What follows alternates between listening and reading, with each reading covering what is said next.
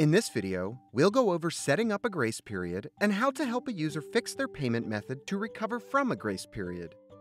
A grace period for your subscription allows your users to retain access to your content or services after a payment has been missed.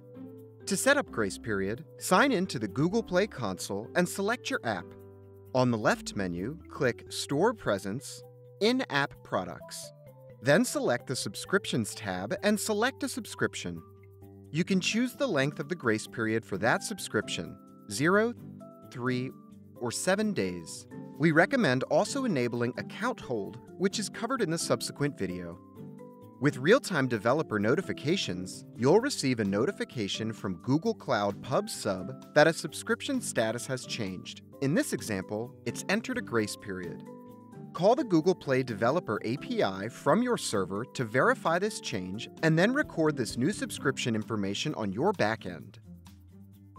Next, you'll want to provide a message in your app that alerts your user to their account status.